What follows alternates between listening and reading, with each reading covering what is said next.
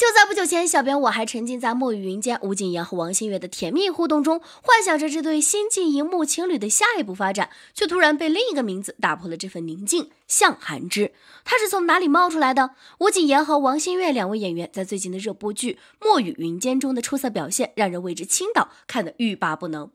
在剧中，吴谨言饰演的江离不仅聪明绝顶，更在举手投足间流露出一股子倔强和坚韧。吴谨言的表演生动而富有层次感，让观众能够深刻感受到角色内心的变化和成长。而王星月则凭借其优雅的气质和深情的眼神，成功塑造了一个风度翩翩、深情款款的贵公子形象。两人在剧中的对手戏火花四溅，让人看得欲罢不能。剧中的两人的感情线跌宕起伏，赚足了观众的欢笑；而在剧外，他们的频繁互动更是让 CP 粉们兴奋不已。各种同框照、滑雪视频被疯狂传播，实在太酷了。然而，就在这个节骨眼上，王心月恋情曝光了，而女方竟是爱蹭热度的她。这下评论彻底沦陷。那么具体怎么回事呢？要知道，王心月凭借《墨雨云间》快速走红，剧中的她不仅颜值在线，演技更让人忍不住竖起大拇指。看到她和吴谨言同框时，感觉空气都甜了。不料，两人的剧中 CP 被拆了。近日有媒体爆料，女明星向涵之与王心月正在热恋，微博风格一致，纹身一样，位置一样。本以为王心月会掉粉，会被骂，结果风平浪静，因为不少网友们都跑去向涵之账号底下开骂，说他什么热度都爱蹭，每部热播剧都爱蹭，因此大家对向涵之炒作手法很反感，觉得他为红喜欢蹭热度。可见流量明星不适合谈恋爱，一旦恋爱跟结婚就容易掉粉，好感度减分。万幸王心月那边已经声明这是假的，这让许多原本沉浸在他们甜蜜互动中的观众松了一口气，可以继续安心的课堂。话说，为什么娱乐圈这么多男明星都和向涵之传出过绯闻呢？令人匪夷所思。之前《星汉灿烂》热播时，向涵之与吴磊的绯闻就已经传出过了。两人因合作古装剧《启航当风起时》而结缘，剧中的默契配合让无数观众为之倾倒。然而，比剧情更吸引人的是两人在戏外的种种巧合，从同款手机壳到相似的卫衣，这些细微之处似乎都在暗示着两人之间的不寻常关系。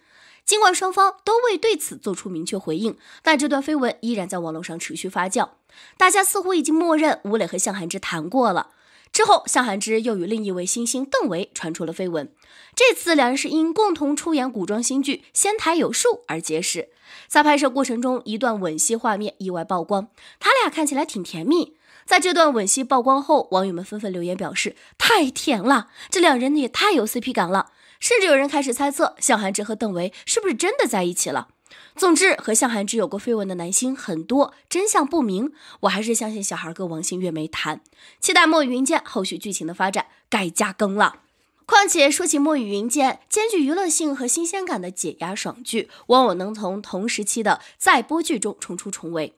受到大多数观众的欢迎。可谓开播即爆，在开播即登上二零二四新剧开播首日播放量首位的同时，在优酷站内也成为二零二四年开播首日热度最高的剧集。《墨云间》开播即爆，与其爽剧的内核有脱不开的关系。在当下爽剧频出的影视行业中，这部古装剧将爽感作为表象，通过深刻的故事立意实现了破圈。爽感从何而来？在第一集过后，墨雨云间更是几乎在每一集内都设置了高强度的情节。这种快节奏叙事显然是墨雨云间的一种探索和创新，给观众带来了足够的新鲜感。从业内来看，在当下短剧市场繁荣的情况，长剧的叙事节奏和剧情密度理应有所改善，以应对短平快热潮带来的冲击。另一方面，爽感同样来源于角色成长和人物间的化学反应。就如同媒体的评价一样，相比于纯粹的打怪升级，《墨云间》更执着于讲述成长的故事。男主也好，女主也好，任何一个角色，有很多时刻他们会面对挚爱之人、至仇之人，在表面的情绪之下，每个人都有内在深度的复杂情感，有人格的发展。导演兼编剧马师哥这样公开表示，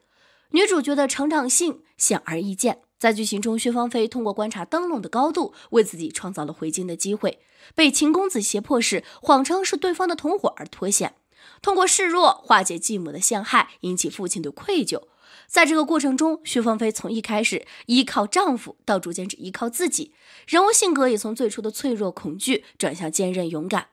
这种成长让剧情跳出了纯粹的爽剧逻辑，给涅槃重生赋予了更直观的体现。除了主角外，莫云间对于反派的刻画也脱离了传统的形象。在已播出的剧集中，季舒然承担了恶毒继母的人物设定。然而，演员对于反派的演绎，并没有让反派的行为动机来源于单纯的争斗，而是来源于封建父权的压迫，让角色顺利从单薄的刻板印象中跳脱出来。就如学者认为的，莫云间在主题方面深入批判了封建社会对于女性的压迫，传达出女性自强独立的观念，也因此具有更丰富的意蕴，值得观众挖掘讨论。有了成长性的角色，人物之间的关系就不再单薄，这也使得莫云间可以不用依靠男女主的感情线推动剧情，而是依靠故事的内在逻辑逐渐递进。这种叙事方式反而让感情线的发展有了更多的发挥空间，剧情不必为感情线让路，让故事情节更加流畅。而男女主之间故事发展中的互相利用又互相体谅，反而留出了暧昧空间。这种留白式拉扯更能为观众提供爽感。不可否认的是，莫云将在方方面面的微创新，恰好为爽剧提供了新的创作思路。这种对于受众感受的揣摩和复刻，最终体现为对新鲜感和爽的打磨，将爽感拉到了剧集能够呈现的最高限度。当然，墨云间能快速破圈，不只因为剧本情节的爽，更在于在真爽剧背后对于人性的基本需求。复仇是莫云间的主基调，同样也是中西方文学作品中共有的经久不衰的主题。一方面，报复来源于人们自我保护的本能，存在于每一个时代的文学、影视作品中，而这些复仇故事大多也带有鲜明的时代特色，更容易引起观众的共鸣。另一方面，世人爱看到恶人伏法、好人昭雪的反转，追求公平正义、惩恶扬善，是存在于人骨子里的本能，也是大众最朴素的期待。这也成为复仇题材可以打动一代又一代观众的原因。墨雨云间恰好抓住了这两个特质：主角在剧情中对善意涌泉相报，对恶意亦加倍奉还，为观众提供了替代性的满足，也成功让墨雨云间的热度打破圈层，延伸到更多观众群体中。与此同时，在复仇的视角下，个体如何生存，同样切中了人性的需求，也是墨雨云间要回答的一个最大的问题。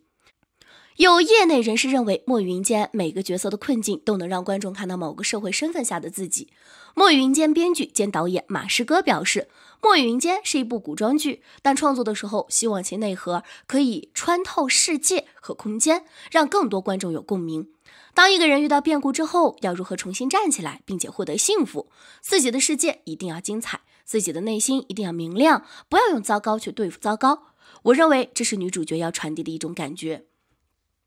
墨雨云间导演表示，这种能量也正是当代观众需要的。虽然墨雨云间设定为架空的古代背景，但是无论是复仇题材还是当代价值观，都证明着墨雨云间的内核依然是文学和影视作品中的典型。而剧情走向、拍摄手法、情节设置等细节的打磨，更像是传统审美观念的当代表达。如此一来，喜欢复仇爽剧的未必平庸，喜欢古典文学的未必高雅。审美多样化催生了更多题材和内容，也让文化艺术愈加繁荣。